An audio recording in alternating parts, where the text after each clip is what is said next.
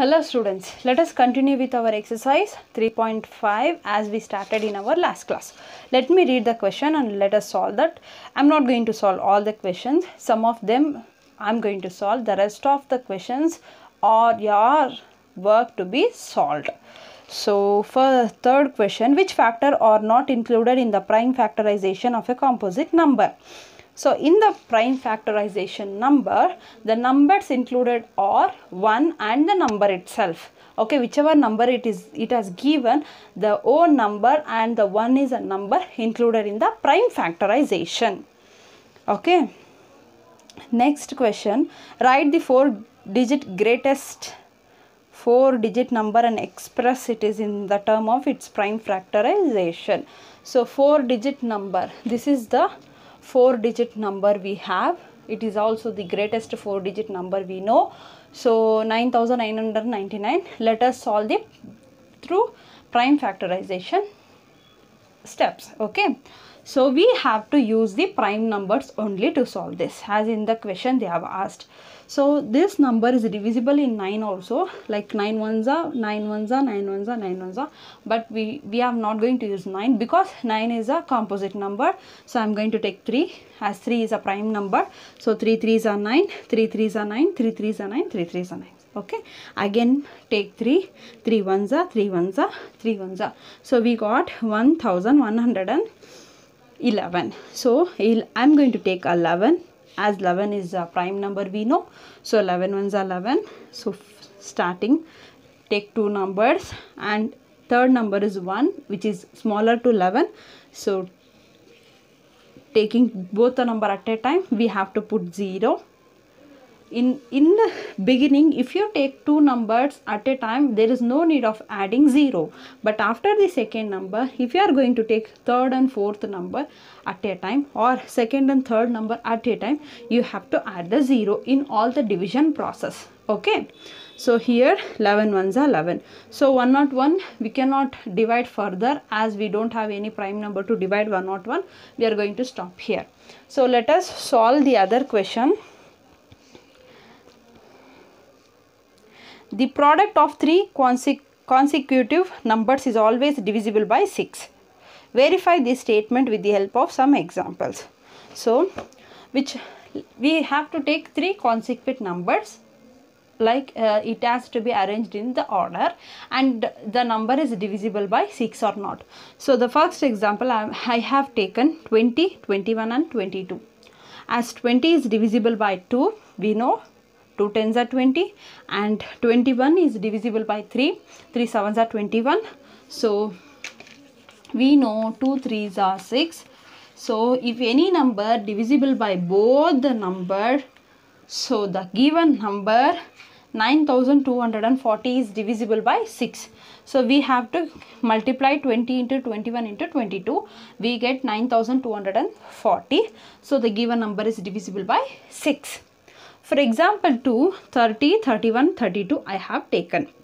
Again 30 is divisible by 3 and also 2 and uh, 32 is divisible by 2.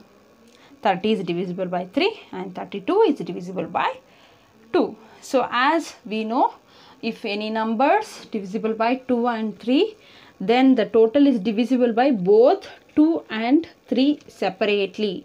So if it, the number is divisible by separately 2 and 3, the given number is also divisible by 6. This is the concept, this is the idea be, behind the question. So I hope you understood this question.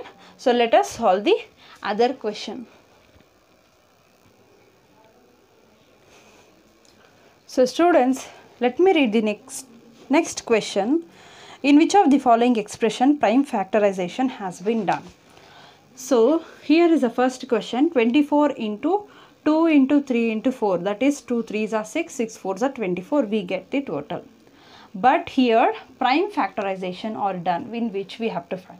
As I informed to do the prime factorization number we have to take only the prime numbers. So here 2 3 are prime numbers but 4 is not a prime number. So it is not done in prime factorization right 56 so 7 into 2 into 2 into 2 the 7 2s are 14, 14 2s are 28, 28, 28 2s are 56. So 7, 2, 2 or all the numbers are a prime number. So we it, it has done through prime factorization. So 56 we can divide or we can make prime factorization process. So for 70 we have 2 into 5 into 7. So 2 5s are 10, 10 7s are 70. So 2, 5, 7 all three numbers are prime numbers. So we can uh, use for prime factorization. So when we come to 54, 2 into 3 into 9. So 2, 3 are prime numbers but where 9 is not a prime number. So here A and D are not a part of prime factorization where B and C are the prime factorization. So one more question. 18 is divisible by both 2 and 3. It is also divisible by 2 3s are 6. So similarly a number is divisible by both 4 and 6. Can we say that the number must be divisible by 4 and 6? So if not give the so here 4 into 6. 4 into 6 is 24. So if a number is divisible by 4 and 6 whether it is divisible by 24 we have to think. So which is the number divisible by 4 and 6 is 1 is 24 so another number is 12. So the given statement is not possible. So 12 is a number which is divisible by 4 and 6. 4 3s are 12, 6 2s are 12 but it is not divisible by 24. So the given statement is not satisfied. So I hope you understood with this concept. So please uh, make it a write in your book. If you have any doubt, post it in your group. Thank you so much for watching the video.